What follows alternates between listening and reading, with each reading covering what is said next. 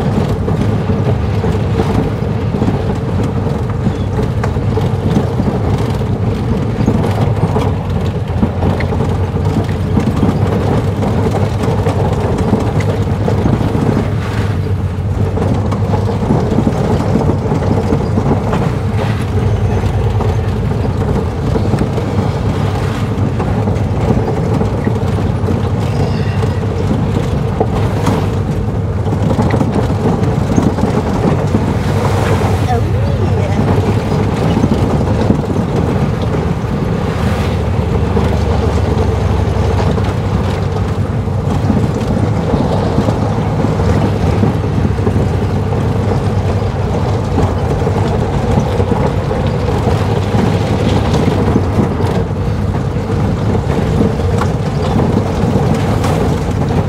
Oh, the drink's not up there as much as I thought it'd be.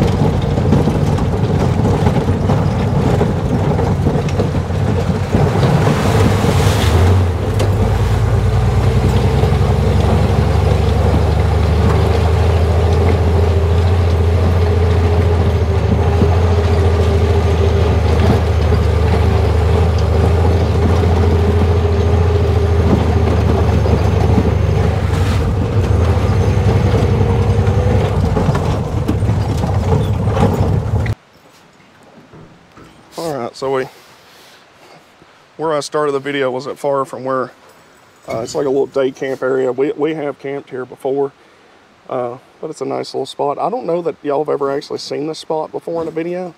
So I'm gonna shut it off real quick, get you mounted over to a tripod, because it'll be easier to handle, and then I'll bring bring you back after that. Does that sound good? It sounds good to me. And there's Brittany and Ashby walking by. I'll let you see Ashby. She's gained about 20 pounds since the last time y'all saw her, and she's doing real healthy now, so that's good. All right, so we got up here. Here's the fire pit, and here's Ashby the Wonder Pup. All right, and I'm gonna pick that bottle up. There's a little bit of trash hanging around here. Not too bad up here. They usually do a pretty good job.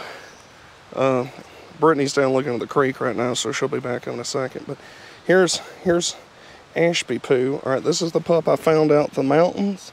When I got her, she was riddled with fleas, was scrawny, and uh, everything. So we rescued her. That's been quite a while ago. And now we've had her checked. She's got all her shots and all that since the last time y'all seen her. Uh, no heartworms, no intestinal worms. She's gained up to about what she should weigh. She weighs about 42 pounds. She's a good sized pup. And then uh, let's see if we can't get a little fire going. All this wood's wet. It rained like an obscene amount today. But I just kind of want a little fire. It ain't going to be a good one. Just a little one. Kind of cooking in the background. Might make some s'mores or something. I don't know. But uh, Brittany says the CJ5 looks badass. There's a prophylactive laying over there, the wrapper, and uh, some sunglasses. So somebody was up here making the beast with two backs, as they say. The sunglasses is missing a limb. Yeah.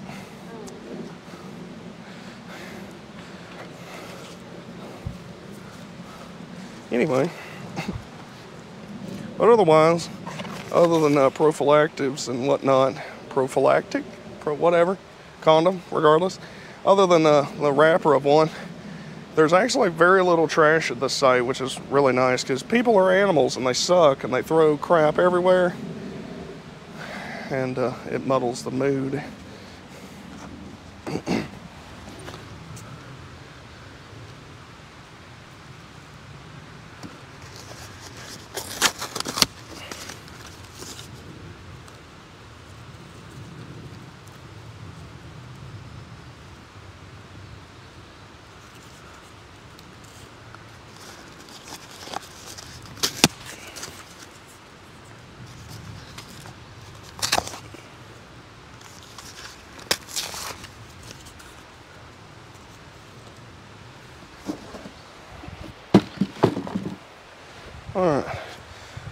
I'm to see about getting the fire going, which it's actually going semi decent right now.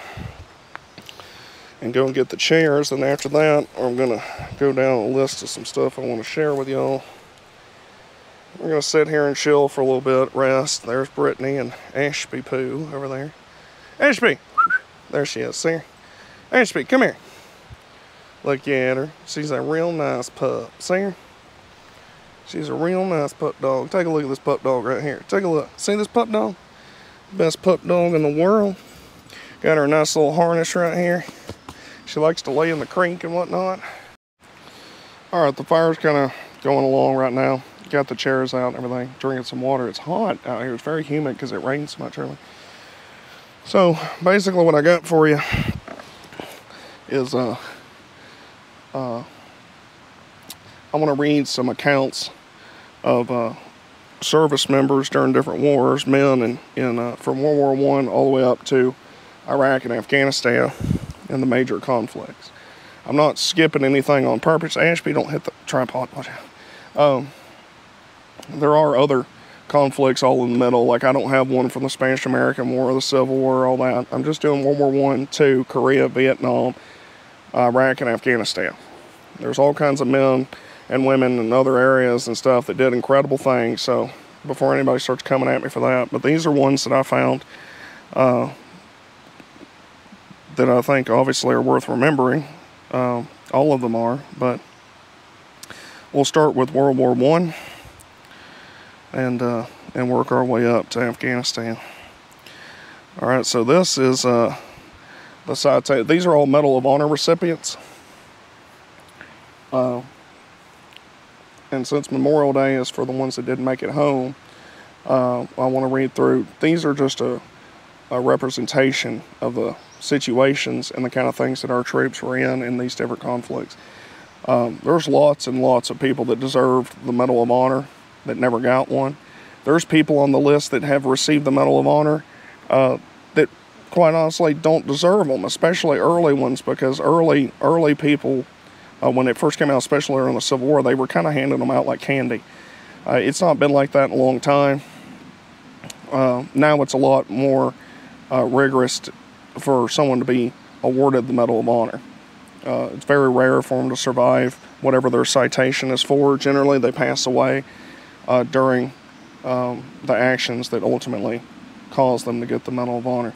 Keep in mind, the Medal of Honor is not something that people are looking to be awarded. All right, a lot of people say they uh, this guy got the Medal of Honor. He didn't get nothing. I mean, he was in they're in the combat zone, risking their life for their country and for their for their fellow soldier. And generally they die in the combat zone and then somebody down the line recommends them for the medal of honor. Nobody's trying to get the medal of honor that's what i'm saying. Camera's going to move sometimes. Ashby's the one doing it. So anyway starting off with world war one this uh, gentleman was a uh, let's see second lieutenant albert e. Baesel or basil i might pronounce some of these names wrong or the towns or whatever where they're at so just bear with me for that uh, he's U.S. Army. He was in Company B, 148th Infantry, 37th Division. Um, and the Medal of Honor action date is September 27th, 1918. All right. Uh, near Ivory, Ivor, Ivory, France. Um, and here's his uh, citation.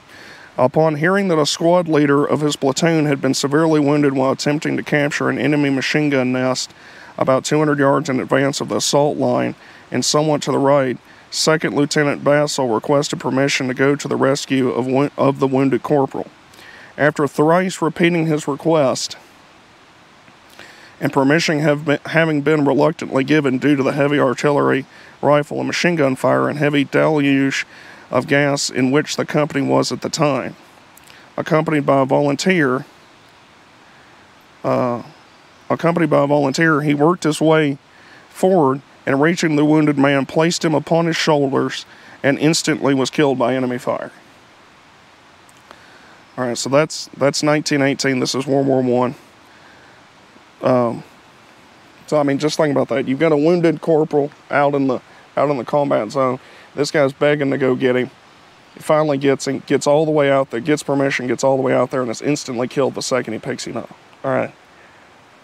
This is not it's it's, it's not in human nature to be that selfless. So it's it's or at least not in my opinion, it's not. Um, so you've got ultimate sacrifice here. This is World War One. The next one, uh, uh, and, and, this gentleman was from uh, Ohio and he he was killed, like I say, on the same day of a citation, September 27, 1918, in France, and he's buried in Woodvale Union Cemetery in Cleveland, Ohio. All right, the next gentleman, I've got two from World War II, one from Europe and one from the South Pacific, because they are unique, different combat zones. They're very unique. Um, theaters of war. It's almost like two completely different entities going on. They're all part of World War II, but they're two very different wars. So this one's from uh, Saipan, uh, Marianas Islands. Uh, the Medal of Honor action dates July 7th, 1944. And uh, his rank was Private First Class, 4th Battalion, 10th Marine, 2nd Marine Division. His name is Harold Christ Agerholm. Uh, for conspicuous gallantry at the risk of his life and above the and beyond the call of duty while serving with the 4th Battalion, 10th Marine, 2nd Marine Division in action against enemy Japanese forces on Saipan, Marianas Islands July 7, 1944, when the enemy launched a fierce, determined counterattack against our positions and overran a neighboring artillery battalion, Private First Class Agerholm immediately volunteered to assist in efforts to check the hostile attack and evacuate our wounded, locating and appropriating an abandoned ambulance jeep. He repeatedly made extremely perilous trips under heavy rifle and mortar fire and single handedly loaded and excavate, evacuated approximately 45 casualties, working tirelessly and with utter disregard for his own safety during a grueling period of more than three hours. Despite intense, persistent enemy fire, he ran out to aid two men whom he believed to be wounded Marines, but was himself mortally wounded by a Japanese sniper while carrying out his hazardous mission. Private First Class Agerholm's brilliant initiative, great personal valor, and self sacrificing efforts in the face of almost certain death reflect the highest credit upon himself and the United States Naval Service. His gallantry gave his life, he, ga- he gallantly gave his life for his country. Uh, let's see. And he was from Wisconsin. Um, Agerholm was. And he's buried at Mound Cemetery, Racine, Wisconsin. All right, so this is also World War II. This is May 24th, 1944, is the action date. Uh, he was a sergeant in Company B, 15th Infantry, 3rd Infantry Division, U.S. Army. Uh, and this is near Cisterna di Littoria, Italy. All right, forgive the butchering of the location. And his name is Sylvester Antolak, I think is how you would say it. Near Cisterna di Littoria, Italy, he charged 200 yards over flat, coverless terrain to destroy an enemy machine gun nest during the second day of the offensive, which broke through the German cordon of steel around the Anzio beachhead. Fully 30 yards in advance of his squad, he ran into withering enemy machine gun fire, machine pistol, and rifle fire. Three times he was struck by bullets and knocked to the ground, but each time he struggled to his feet to continue his relentless advance. With one shoulder deeply gashed, his right arm shattered, he continued to rush directly into the enemy fire concentration with his submachine gun wedged under his uninjured arm. Within 15 yards of the enemy strong point, where, where he opened fire at deadly close range, killing two Germans and forcing the remaining 10 to surrender, he reorganized his men and, refusing to seek medical attention so badly needed, chose to lead the way toward another strong point a 100 yards in the distance utterly disregarding the hail of bullets concentrated upon him. He had stormed ahead nearly three fourths of the space between strong points when he was instantly killed by hostile enemy fire. Inspired by his example, his squad went on to overwhelm the enemy troops by his supreme sacrifice, superb fighting courage, and heroic devotion to the attack. Sergeant Antolak was directly responsible for eliminating 20 Germans, capturing an enemy machine gun, and clearing the path for his company to advance. All right, so this is in Italy. Uh, he was also from Ohio. And uh, he was from Claresville, Belmont County, Ohio. He died on that day, May 24th, 1944, in Italy. And he's buried at ABMC Sicily Rome Cemetery, Nettuno, Italy. All right, now we're on to Korea. Uh, a lot of people discount Korea. They don't talk about Korea. Korea had some of the worst fighting American troops has ever been in for the most prolonged period of time. It's a living hell. Chosin Reservoir, uh, all these different places in Korea, it's a living nightmare. All right, so Korea doesn't get nowhere near the recognition for what our men did in Korea. The nurses, you know, people think of Korea, if you think about it all, they think of MASH, you know. You got nurses and doctors and stuff like that. That's a lot more to, to Korea than that.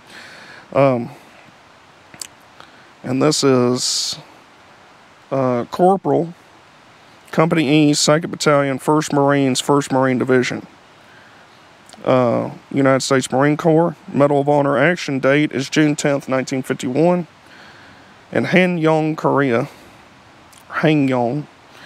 Uh, and his name is Charles Gene uh, Abrell, I believe, for conspicuous gallantry at the risk of his life above and beyond the call of duty while serving as a fire team leader in Company E in action against enemy aggressor forces, while advancing with his platoon in an attack against well conceived and heavily fortified enemy hill positions. Corporal, Corporal Abrell voluntarily rushed forward through the assaulting squad, which was pinned down by a hail of intense and accurate automatic weapons fire from a hostile bunker situated on a commanding on commanding ground.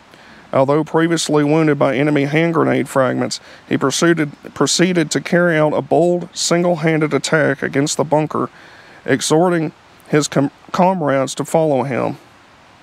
Sustaining two additional wounds as he stormed towards the emplacements, he resolutely pulled the pin from a grenade clutched in his hand and hurled his body into the bunker with the live missile still in his grasp fatally wounded in the resulting explosion, which killed the entire, entire enemy gun crew within the stronghold. Corporal Abrell, by his valiant spirit of self sacrifice in the face of certain death, served to inspire all of his comrades and contributed directly to the, to the success of his platoon in attaining its objective. His superb courage and heroic initiative sustained initiative sustain and enhance the highest traditions of the United States Naval Service. He gallantly gave his life for his country. And he died that day, June 10th, 1951, near Hoshkawan, North Korea. And he's buried in West Lawn Cemetery in Indiana, which is the state that he was from. All right, so I realize I'm not in the same location as my other uh, readings, but uh, that's for a reason. Uh, I actually had saved the Medal of Honor recipient accounts on this iPad, but then when I went up into the woods, I forgot the iPad, uh, but I'd sent them uh, to my iPhone. And somehow doing that, I accidentally forgot Vietnam. So I'm going to cut this one in for Vietnam, and then it'll go back to the woods and finish the rest of the video. So I apologize for the uh, lack of continuity in the background and stuff, but this is uh, Medal of Honor action date is August 24th, 1969. Uh, this gentleman was a Lance Corporal in Company E, 3rd Reconnaissance Battalion, 3rd Marine Division, Rein FMF. And, and this is in the Quang Tri Province, Republic of Vietnam. Um, and we're neighborhood, so you'll hear some noises in the background and stuff, so just ignore that, please. And this gentleman's name was Richard Allen Anderson. And his citation reads as follows For conspicuous gallantry at the risk of his life above and beyond the call of duty while serving as an assistant team leader with Company E in connection with combat operations against an armed enemy.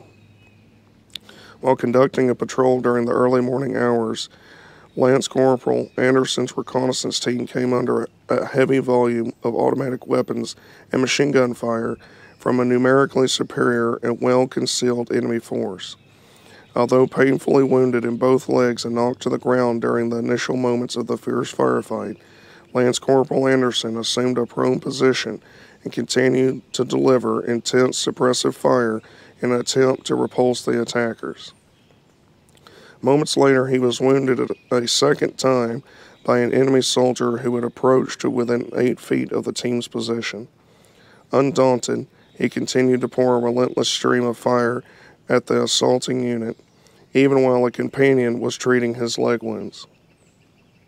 Observing an enemy grenade land between himself and the other Marine, Lance Corporal Anderson immediately rolled over and covered the lethal weapon with his body, absorbing the full effects of the detonation. By his indomitable courage, inspiring initiative, and selfless devotion to duty, Lance Corporal Anderson was instrumental in saving several Marines from serious injury or possible death. His actions were in keeping with the highest traditions of the Marine Corps and the United States Naval Service. His gallantry, he gallantly gave his life in service of his country. And this gentleman was from Houston, Texas. Uh, he died that day, August 24th, 1969, Republic of Vietnam. And he is buried in Forest Park Cemetery, Lawndale, Texas. So, obviously, want to make sure we get Vietnam out. And now we're going to move on to the rest of the video. All right, now we're moving on to Afghanistan. And this is Staff Sergeant uh, 71st Cavalry Regiment, 3rd Brigade Combat Team, 10th Mountain Division, U.S. Army. And his Medal of Action, uh, Medal of Honor action date is June 21st, 2006. Uh, place of action is Nuristan Province, Afghanistan. Staff Sergeant Jared C. Monti distinguished himself by acts of gallantry above and beyond the call of duty while serving as a team leader with headquarters and headquarters troop, 3rd Squadron, 71st Cavalry Regiment, 3rd Brigade Combat Team, 10th Mountain Division, in connection with combat operations against armed enemy in Nuristan Province, Afghanistan. On June 21, 2006, while Staff Sergeant Monti was leading a mission aimed at gathering intelligence and directing fire against the enemy, his 16 man patrol was was attacked by as many as 50 enemy fighters on the verge of being overrun. Staff Sergeant Monti quickly directed his men to set up a defensive position behind a rock formation. He then called for indirect fire support directly targeting the rounds upon the enemy who had closed to within 50 meters of his position. While still directing fire, Staff Sergeant Monti personally engaged the enemy with his rifle and a grenade, successfully disrupting the, an attempt to flank his patrol. Staff Sergeant Monti then realized that one of his soldiers was lying wounded on the open ground between the advancing enemy and the patrol's position. With complete disregard, uh, with complete disregard for his own safety, Staff Sergeant Monti twice attempted to move from behind cover of the rocks into the face of relentless enemy fire to rescue his fallen comrade. Determined to not leave his soldiers, Staff Sergeant Monti made a third attempt to cross open terrain through intense enemy fire. On this final attempt, he was mortally wounded, sacrificing his life in an effort to save his fellow soldier. Staff Sergeant Monti's selfless acts of heroism inspired his patrol to fight off Oh. Let's see. Sorry, I had to save it in two different spots. It's a very uh, longer one. Um, Staff Sergeant uh, let's see. Staff Sergeant Monti's selfless acts of heroism inspired his patrol to fight off the larger enemy force. Staff Sergeant Monti's immeasurable courage and uncommon valor are in keeping with the highest traditions of the military service and reflect great credit upon himself, headquarters and headquarters troop 3rd Squadron, 71st Cavalry Regiment, 3rd Brigade Combat Team, 10th Mountain Division, and the United States Army. He was from Bristol County, Massachusetts. He died June 21, 2006, Nuristan Province, Afghanistan, and he's buried at the Massachusetts, Massachusetts National Cemetery in Bourne, MA. And finally, the last one we have here is staff, another staff sergeant, Travis W. Atkins, uh, second platoon, uh, second platoon Delta Company, second Battalion, 14th Infantry Regiment, second Brigade Combat Team, 10th Mountain Division. And this is in Abu Samak, Iraq. Uh,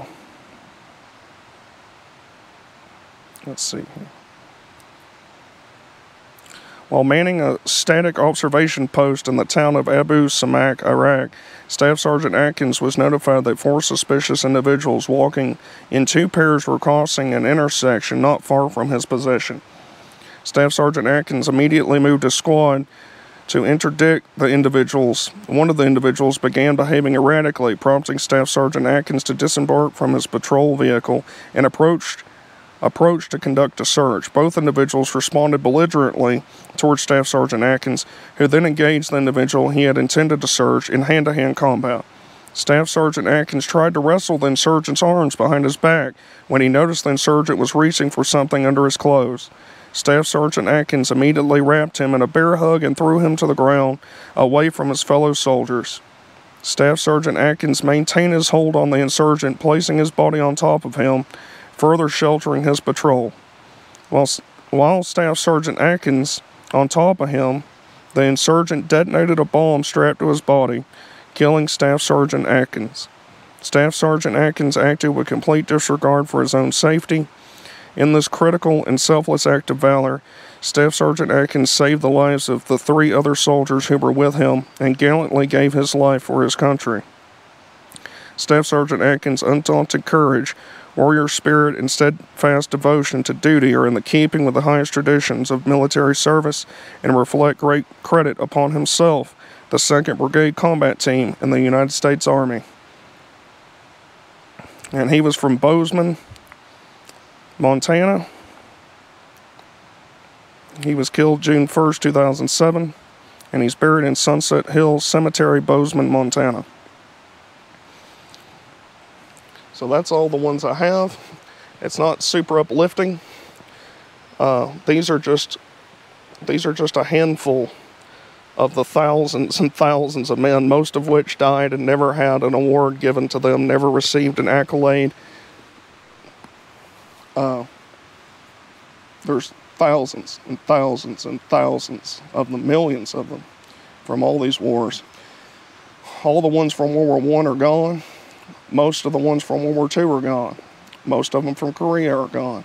The ones from Vietnam uh, are fleetingly rare these days. They're dying by the hundreds every day, and within another 20 years, there probably won't be hardly any of them left. There's still a lot of Iraq and Afghanistan and Desert Storm and all those guys. Um, but it's important to remember what Memorial Day is actually for. It's for these men. It's for all the men like them. It's the ones that died in a foreign land doing something that may they may or may not have agreed with. A lot of these guys that I just read to you, if you were talking to them privately, they love their country. They probably didn't necessarily want to be doing what they were doing. Or maybe they did. Some of them did, I'm sure. A lot of them didn't want to. A lot of them went in the early wars because they were drafted. They didn't have anything else to do. They didn't. They didn't have the luxury of saying no, so they went. I know personally, my grandfathers, neither one of them wanted to go when they were drafted. None of my great uncles wanted to go. They all went because they were told to. It's what was required of them by their country. They didn't want to go, but they knew it's what they had to do. A lot of them are like that, especially, obviously, in the era of the draft. But this is what Memorial Day is actually for. It's for the ones that didn't make it home. It's not an excuse to get drunk and lay face down. It's not an excuse for any of that. You know, obviously things are full of turmoil right now. The country's not in the best place it's ever been historically. Everybody's upset in one way or another for all different reasons. Uh, some of you may not have agreed with some of these wars that we're in. Vietnam's a very contentious topic, Iraq, Afghanistan. The thing is, you don't have to agree with why we were there, but surely we can agree that the men that were there were honorable men, honorable women, and they did remarkable things in situations that none of us had to be in, didn't want to be in, and many of them died. Some of them for things that they didn't understand, some of them because they, they wanted to save their fellow soldier, and it was as simple as that. And that's worth remembering, it's worth honoring, and it's worth living your life in a conduct and manner this Memorial Day that's conducive to an adequate memory of those men and women that have done these things. There's lots of women that didn't get any recognition in this era as well, that were nurses, uh, truck drivers, all kinds of things like that. Um, many of them probably should have deserved the Medal of Honor in different accounts for things that they did, but they weren't recorded at the time. So just keep that in mind. Uh, you don't have to to uh, to love your government to love your country. I don't love my government. I never have. I love my country though. And and I love these men and women that fought for my country in the past, and that gives me the right to be able to be out here and do the things that I do and drive the Jeep and spend time with my girlfriend and my dog. None of that could have happened without the men that did the things they did in every war that we've been in, even the ones that you don't think are important. You never know how important they were if we'd never been in them, you know. So I'm not going to preach at you much more than this. I just wanted to share that with you. I think it's important remember. I got those all off of the Medal of Honor uh, recipients website. Uh, you can go through and search by conflict, by era. Um, they've got them from every war that we've ever been in, starting with the Civil War moving forward. Um, there's quite a few that received two medals of honor. There's a whole lot of interesting stuff. So just take time, if you have a moment, to maybe scroll through that page, look up um, what some of these people did. I have a friend that knew uh, a guy in Vietnam that received a Medal of Honor that was killed in action.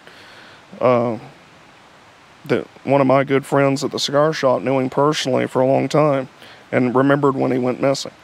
So these people all had families and friends and everything like that. So, but we're gonna sit out here. I'm gonna see if I can get the fire going because it died again while I'm sitting here, and then uh, we're just gonna chillax for a little bit, and then get the jeep, maybe going up in the mountain, and uh, get some water out of a spring up there, because the water's real cold and pure coming off the mountain. But until next time, remember, thank God for all the ones that came before us that did the things we don't have to do now. And remember, Willys for life, Jeeps for life, pup dogs, and girls that like riding a CJ5s for life. and remember, just be grateful for what you have. Even if it's not everything that it should be, it's still better than anywhere else in the world. Just remember that. And don't let anybody ever tell you any different. Get it? Yeah, buddy. Yeah.